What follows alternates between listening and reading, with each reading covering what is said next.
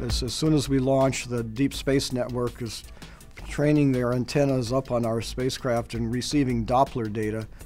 The navigators, the orbit determination engineers, will then compute uh, a very precise trajectory that we're on.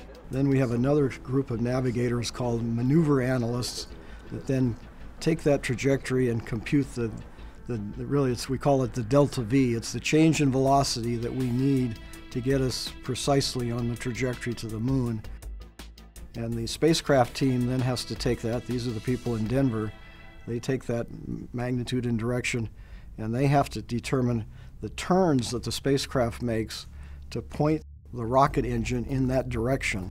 Once they do that, they give those turns back to the navigators who then check the turns to make sure that they are in fact turning to the direction to give us the right delta V, the right impulse to correct the trajectory. The mission planning and sequence team, along with the spacecraft team, will have built the commands that go to the spacecraft that tell it to do this turn and to turn on the rocket engine at a particular time and burn for, for a certain duration. And so those commands have to be checked thoroughly. At Lockheed Martin in Denver, we have a simulator that we run the commands through.